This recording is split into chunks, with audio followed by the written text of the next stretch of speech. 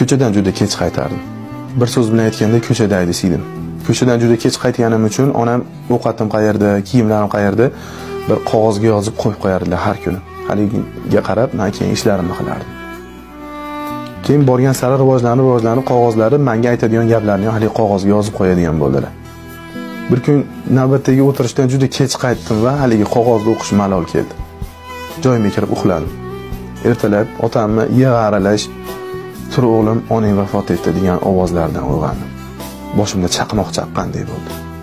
Onamni marosimlari o'tdi dafn marosimlari o'tdi haligi qog'oz esimga tushib ketdi. Qog'ozni borib olib qarasam shunday so'zlar yozilgan ekan. O'g'lim soat nechida kelsang ham oldimga kir. Birga doktorga borib kelaylik. Biroz mazam bo'lmayapti.